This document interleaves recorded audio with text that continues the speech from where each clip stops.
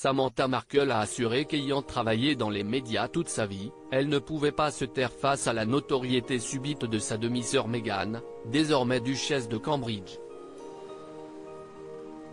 Les membres de la famille de Meghan Markle ne cessent de faire parler d'eux. Après les interviews accordées contre rémunération par le père de la duchesse de Cambridge, c'est cette fois sa demi-sœur qui est accusée de se faire de l'argent sur son dos. Samantha Markle, 53, qui n'avait pas été conviée au mariage de Meghan et du prince Harry, a tenu à s'exprimer à ce sujet dans l'émission britannique Good Morning Britain. J'ai travaillé dans les médias toute ma vie. Donc le fait que ma sœur soit soudainement membre de la famille royale ne m'oblige pas à arrêter toutes mes activités. Nous devons tous survivre.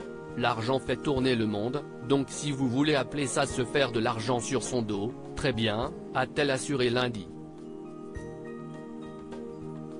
Nous ne sommes pas soumis au protocole royal je pense que personne dans les médias ne refuserait un chèque pour parler des membres de la famille royale. Étant de la famille de Meghan, nous ne sommes pas soumis au protocole royal.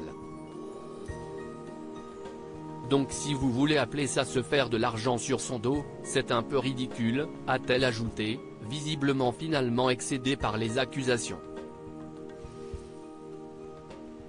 Âgée de 53 ans, Samantha Markle est la fille issue du premier mariage de Thomas Markle, le père de Meghan. Comme lui, elle n'avait pas été conviée au mariage princier en mai dernier.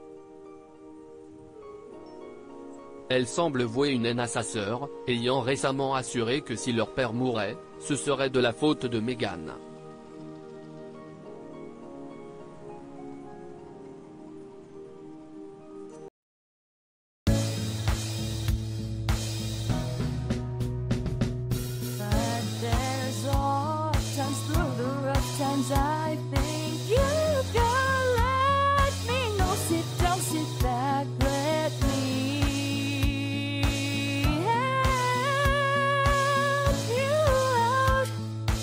step, I gotta seek. I see you out there on your own, but you wish that I was there. I do.